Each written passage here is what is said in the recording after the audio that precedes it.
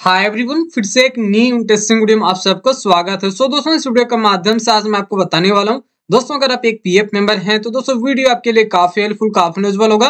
क्योंकि दोस्तों इस वीडियो के माध्यम से आज मैं आपको जानकारी देने वाला हूँ दोस्तों, जब भी आप अपना यूएन नंबर एक्टिवेट करने की कोशिश करते हैं तो दोस्तों, आपका यूएन नंबर एक्टिवेट नहीं हो पाता है आपके पास एक पॉपअप विंडो में अलर्ट आ जाता है और अलर्ट में बता दिया जाता है कि आपका नेम मिसमैच है या तो फिर डेट ऑफ़ बर्थ मिसमैच है, जैसे कि सबसे पहले मैं आपको दिखा देता हूँ। जैसे कि दोस्तों, यहाँ पे देख सकते हैं यूएन एक्टिवेट करने वाला सेक्शन में आ चुका उसके बाद जो भी डिटेल यहाँ पे फिलअप करना होता है, वो कंप्लीट यहाँ पे फिलअप कर लिया जैसे कि यूएन नंबर वगैरह name date of birth mobile number captcha वगैरह यहाँ पे फिलअप कर दिया हूँ, ठीक है? सेम दोस्तों, आप लोग भी यहाँ पे फिलअप करते हैं, उसके बाद यहाँ पे कंसेंट दे देते हैं। कंसेंट दे देने के बाद तो नीचे यहाँ पे नज़र आता है गेट ओटिकेट पिन तो दोस्तों, आप लोग भी यहाँ पे गेट ओटिकेट पिन पर जैसे ही आप क्लिक करते हैं तो दोस्तों फाइनली आपका यूएन नंबर एक्टिवेट नहीं हो पाता है और आपके पास इस प्रकार से एक पॉपअप विंडो में एक अलर्ट आ जाता है, जैसे कि यहाँ पे मैं आपको बारीकी से दिखा देता हूँ। सबसे ऊपर में देख सकते हैं, यहाँ पे लिखा हुआ नज़र आता होगा member name date of birth does not match with the available data in unified portal अगर आपके पास भी इस प्रकार से आ रहा है इंटरफेस और आपका फाइनली यूएन नंबर एक्टिवेट नहीं हो पा रहा है तो इस वीडियो को कंप्लीट वॉच कीजिएगा, ठीक है? तो यहाँ पर जो बताया गया है कि आपका नेम और जो भी आपका डेट ऑफ़ बर्थ है, वो दोस्तों आपका पी एफ़ अकाउंट और आपके आधार कार्ड के साथ मैच नहीं हो रहा है जिसके वजह से आपका यूएन नंबर एक्टिवेट नहीं हो पा रहा है, ठीक है? तो सिंपल से भाषा में आपको बता देता हूँ, जो भी आप यहाँ पे नीचे डिटेल फिलअप कर रहे हैं, जैसे कि आप अपना नाम या तो फिर डेट ऑफ़ बर्थ वगैरह जो फिलअप कर रहे हैं सेम है आपके आधार कार्ड और आपके पीएफ अकाउंट में भी होना चाहिए, ठीक है? अगर आप यहाँ पे आधार कार्ड पे जो भी डेट ऑफ़ बर्थ है या नाम है, वो यहाँ पे फिलअप कर रहे हैं, तब दोस्तों यहाँ पे आपका जो यूएन नंबर में आपका नेम और डेट ऑफ़ बर्थ है, वो कुछ अलग है, ठीक है? आपका जो कंपनी जो आपका ठेकेदार, जो आपका एम्प्लॉयर है, वो आपका नेम या तो फिर डेट ऑफ़ बर्थ कुछ अलग फिलअप किया है, ठीक है? गलत होगा या तो फिर वर्मी में किसी प्रकार से वहाँ पे मिसमैच होगा, ठीक है? तो यहाँ पर दोस्तों मैं आपको जानकारी देने वाला हूँ, किस प्रकार से पता करेंगे, किस प्रकार से चेकआउट करेंगे कि आपका कंपनी ने आपका नेम या तो फिर डेट ऑफ़ बर्थ क्या फिलअप किया आपके पी अकाउंट में, जब आपका अकाउंट खोल रहा था, उसमें क्या डिटेल डाला, किस प्रकार से पता करेंगे, इस वीडियो में आपको कंप्लीट जानकारी देने वाला हूँ। तो दोस्तों वीडियो आपके लिए काफ़ी हेल्पफुल काफ़ी उज्जवल होगा। चलिए वीडियो शुरू करते हैं, फटाफट जान लेते हैं और सीख लेते हैं। तो सबसे पहले आप अपने फ़ोन लैपटॉप कंप्यूटर में कोई भी ब्राउज़र होगा ब्राउज़र आपको ओपन कर लेना है। ब्राउज़र ओपन करने के बाद सर्च बार आपको टाइप करना आई डब्ल्यू पोर्टल जैसे कि यहाँ पे देख सकते हैं। जैसे सो यहाँ पे I W portal EPFO type करके सर्च कीजिएगा। सर्च कर देने के बाद पहला वेबसाइट आपके पास नज़र आ जाता है आई डब्ल्यू पोर्टल ईपीएफओ ठीक है? जैसे कि स्क्रीन पर देख सकते हैं। तो दोस्तों, इसी वेबसाइट पर आपको क्लिक कर देना है। जैसे सो पहला वेबसाइट पर क्लिक करते हैं तो आपके पास दोस्तों एक नया इंटरफेस आ जाता है। नया इंटरफेस आ जाने के बाद आपके पास इस प्रकार से सोच जाता है, जैसे स्क्रीन पर देख सकते हैं। तो इस पेज का दोस्तों मैं डायरेक्ट लिंक वीडियो डिस्क्रिप्शन में प्रोवाइड कर दूँगा। जैसे सो लिंक पर क्लिक करेंगे तो दोस्तों आपको इस पेज तक डायरेक्ट डायरेक्ट कर देगा, काफ़ी इजी हो जाएगा, ठीक है? अब दोस्तों यहाँ पे नीचे देखिए, काफ़ी सारा सेक्शन बना हुआ नज़र आता होगा।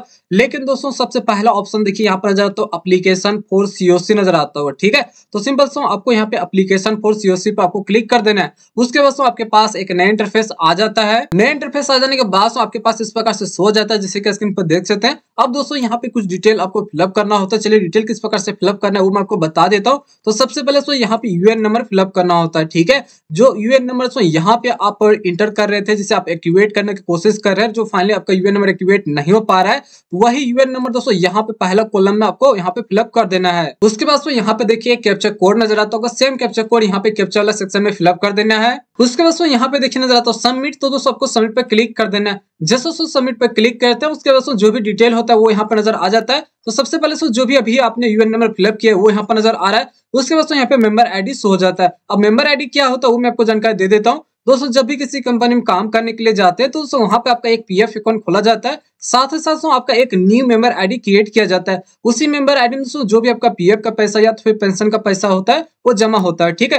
तो यहाँ पर आपको केवल मेंबर आईडी आपको सिलेक्ट करना होगा। इसके लिए सेलेक्ट पर क्लिक कीजिए। उसके बाद यहाँ पे मेंबर आईडी हो जाता है। अगर आपने मल्टीपल कंपनी में काम किया होगा, जैसे दो तीन कंपनी में काम किया होगा तो दोस्तों, यहाँ पे दो तीन मेंबर आईडी यहाँ पे हो जाता है। लेकिन, दोस्तों, मैं यहाँ पे एक ही कंपनी में काम किया हूँ जिसके वजह से यहाँ पे एक मेंबर आईडी सो रहा है, ठीक है? तो सिंपल से तो यहाँ पे आपको मेंबर आईडी सेलेक्ट कर लेना है। मेंबर आईडी सेलेक्ट करने के बाद आपका फाइनली कंप्लीट इन्फॉर्मेशन यहाँ पे नज़र आ जाता है जैसे सबसे ऊपर में देख सकते हैं, यहाँ पे नज़र आता है detail of the employ detail of the employ करने का मतलब होता है आपका ही कंप्लीट इन्फॉर्मेशन यहाँ पर नज़र आता है। वही डिटेल यहाँ पर नज़र आता है जब आपका कंपनी ने आपका पीएफ अकाउंट खोलते हैं, इसमें जो भी आपका डिटेल डाला होगा जैसे कि आपका नाम, आपका डेट ऑफ़ बर्थ वो यहाँ पर नज़र आ जाता है। तो यहाँ पर इजी में पता कर सकते हैं कि आपका कंपनी ने आपका नाम या तो फिर डेट ऑफ़ बर्थ क्या डाला है, ठीक है? तो चलिए डिटेल यहाँ पे मैं बारीकी समझा देता हूँ। तो सबसे पहले सो आपका यूएन नंबर यहाँ पे सो जाता है, उसके बाद मेंबर आईडी उसके बाद फाइनली आपका कंपनी ने आपका नाम क्या डाला पी पीएफ अकाउंट वो देख सकते हैं, मेरे केस में यहाँ पे सो रहा है, ठीक है? तो फाइनली सो जो मेरा नाम मेरे कंपनी द्वारा डाला गया, वो गलत ही डाला है। जैसे कि यहाँ पर स्क्रीन पर देख सकते हैं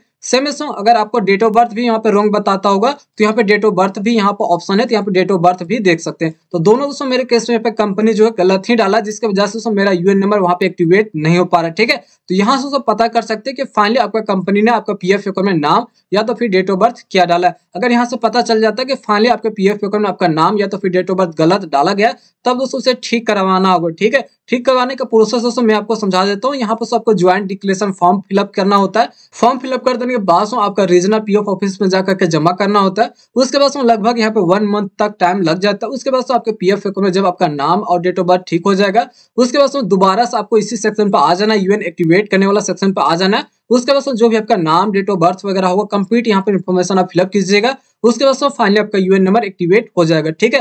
किस प्रकार से यहाँ पे डेट ऑफ़ बर्थ या तो फिर नाम सुधवाना है, उस पर सो मैं पहले ही डेडिकेटेड वीडियो बना चुका हूँ। अगर आप उसे देखना चाहते हैं तो आप हमारे प्ले लिस्ट चेक कीजिए ईपीएफओ का जो प्ले लिस्ट बना हुआ है, उसे चेक कीजिए, वहाँ पे कंप्लीट इन्फॉर्मेशन आपको मिल जाएगा, ठीक है? तो इस प्रकार से मैंने आपको कंप्लीट जानकारी दे दिया हूँ, किस प्रकार से पता करेंगे कि एक्चुअल में आपके कंपनी ने, आपके पी एफ़ में आपका नाम या तो फिर डेट ऑफ़ बर्थ क्या डाला ठीक है? अब दोस्तों, एक जानकारी और भी यहाँ पे मैं आपको बता देता हूँ, जैसे कि अभी आपने पता कर लिया कि आपका कंपनी ने आपका नाम या तो फिर डेट ऑफ़ बर्थ क्या डाला है। अगर वही नेम और डेट ऑफ़ बर्थ यहाँ पे डालने की कोशिश करेंगे और एक्टिवेट करने की कोशिश करेंगे तो ऐसा नहीं होगा।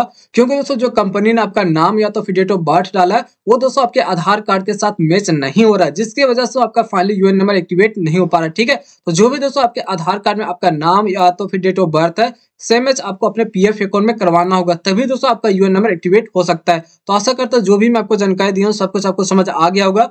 वीडियो भी आपको अच्छा लगा हो और अभी तक वीडियो को लाइक नहीं किए होंगे तो वीडियो को फटाफट लाइक कर देना है। चैनल पर नए हैं, इसी प्रकार वीडियो पाना चाहते हैं तो वीडियो को नीचे देखिए सब्सक्राइब का बटन मिलता है, इस पर आपको क्लिक कर देना है। बेल घंटी भी दोस्तों, आप लोगों को प्रेस कर देना है ताकि आने वाला हर नेक्स्ट वीडियो आपके पास सबसे पहले पहुँच सके। तो फिर से मिलते हैं एक नए इंटरेस्टिंग वीडियो के साथ।